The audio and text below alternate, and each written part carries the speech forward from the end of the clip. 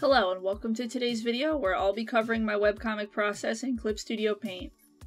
In the last video, we took a look at Clip Studio Paint EX's extract line function, as well as a Clip Studio Paint Pro alternative, and learned how to use them to create line art out of other materials. In today's video, we'll go over some uses for these functions. Links to additional tutorials, as well as anything mentioned in today's video, will be down in the description below.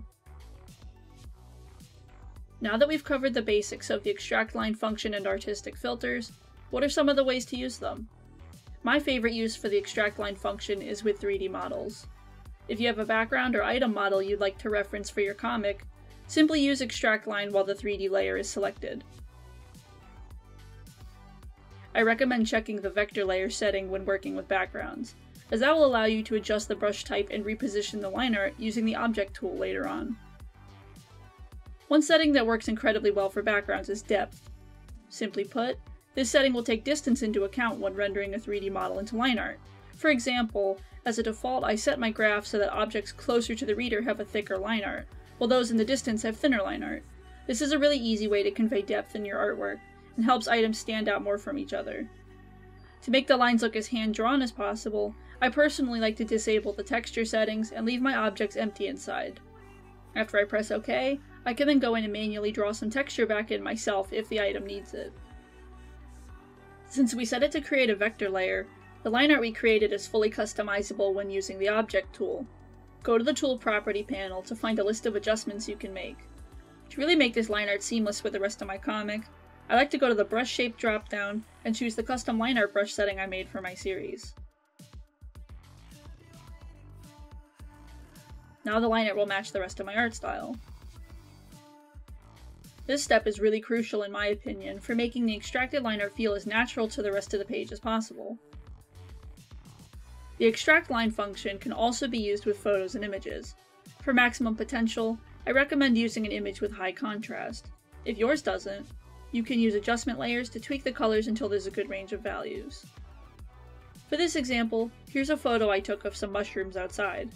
After pressing the convert button, I like to make sure the black fill button is checked. That'll fill in darker areas and give a better sense of contrast to the line art and tones. For simplified colors, check the posterization box under tone work and adjust the handles on the color bar until you get a result you like. Now if I wanted to color this, I would just create a new layer between the fill layer and the first tone layer, and add whatever colors I like there.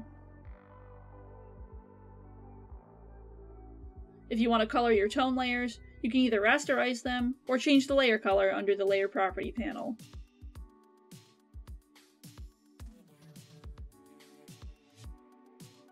Once you've mastered this function, you'll quickly see how useful it can be for your webcomic project. One of my favorite uses is for drawing background characters. Just insert and pose some Clip Studio Paint human models into your background, then use Extract Line to create line art from them. And just like that, you have an instant crowd ready to use. This also works for models of trees when you're drawing a forest, or skyscrapers for a city.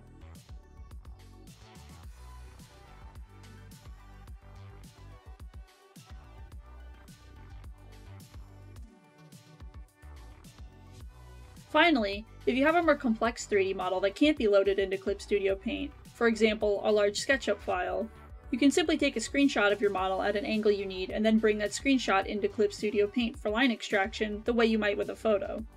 Conveniently, SketchUp has its own style settings that add a line art like filter over 3D models for you.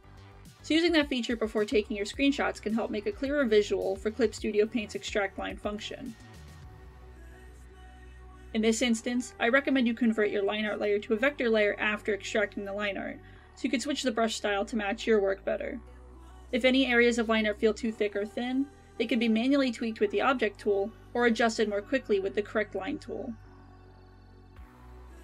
Those are the basics for how I use Clip Studio Paint EX's extract line function for creating line art and tones for my webcomics. Check the description below for my social media links and links to more tutorials. Thanks for watching and I hope to see you next time.